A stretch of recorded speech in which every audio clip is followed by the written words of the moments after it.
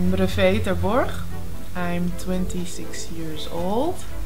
Um, my parents are from Suriname, but I'm born and raised in Amsterdam, so I'm a real Amsterdammer. And uh, I'm a professional dancer. When I was a little girl, I was uh, always a fan of Michael Jackson, really cliche, but it's true. And when I was 12 years old, I started uh, taking classes, hip hop classes. Then I got in contact with a, a, a, teacher who was teaching at the jazz department in the School of the Arts.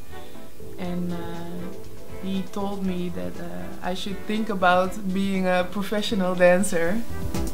The last uh, two years, uh, most of the work I did was actually dancing on film.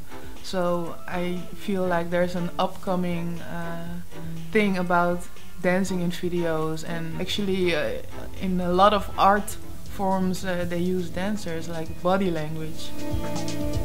Yeah, I put music on and do whatever pops out of my body and that's a mixture of styles because that's my background right now.